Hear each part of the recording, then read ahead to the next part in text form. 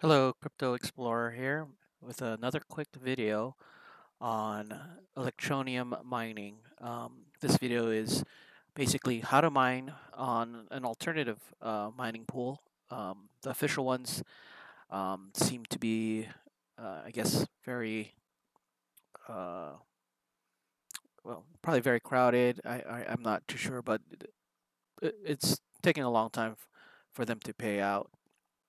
I don't know if it's just um, overutilized right now, but um, I figured uh, if uh, folks wanted an alternative mining pool, there's one here at pool.electroneum.space, and I'll put the link in the description. So let's get started. First, um, you have to disable the antivirus.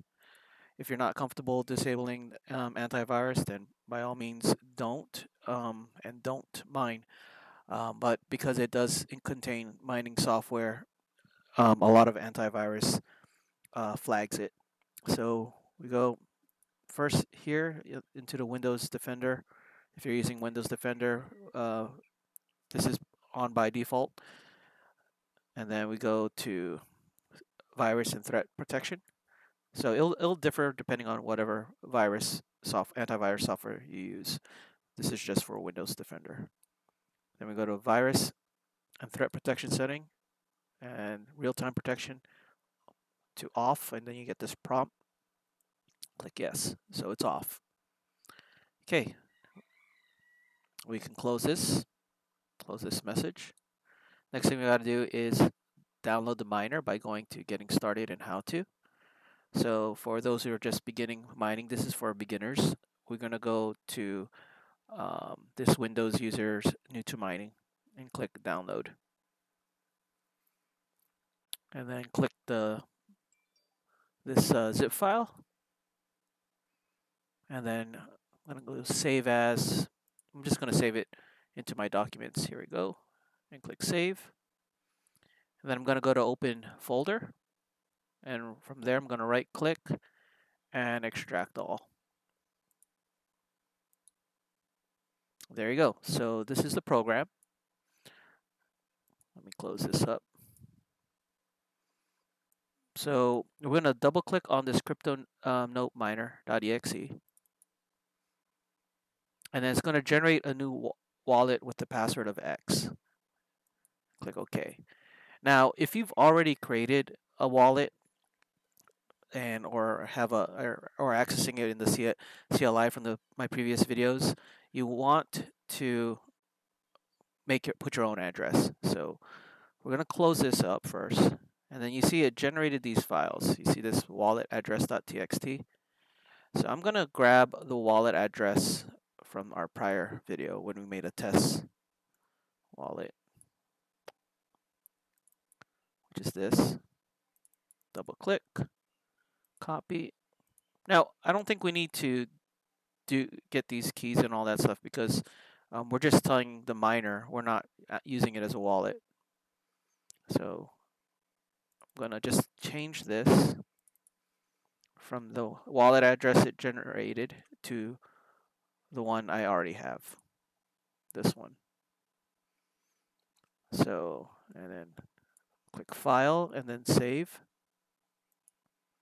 and hit X and then we're going to run this again and then we should confirm that the address here is ours. So let me go and open this file, kind of get them side by side.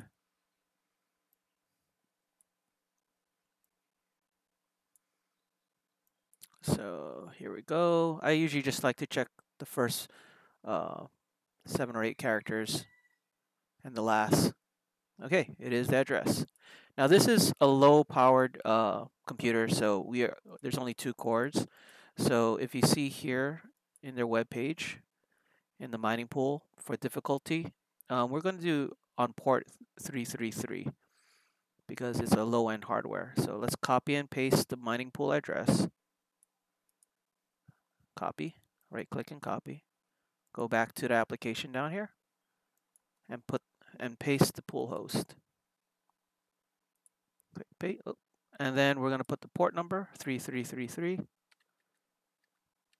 and then click start mining. Now you, you may get this. If you get this coming up, click more info because it's a miner D and click run anyway. So let's go back and we can see it is mining. So after it's been mining for a while, you want to go back to the home page. Um, let's copy and paste this address and check our stats. So we do that by scrolling down here, putting our address here and clicking paste and click look up. Now, you don't might not get anything right away, but this is one thing what you need to know. This is knows that you are mining, where it shows your hash rate and that you've already submitted shares. So there you go. Let's do a lookup again, kind of refresh it. So that's it. Hope this helps. Um, and uh, yeah.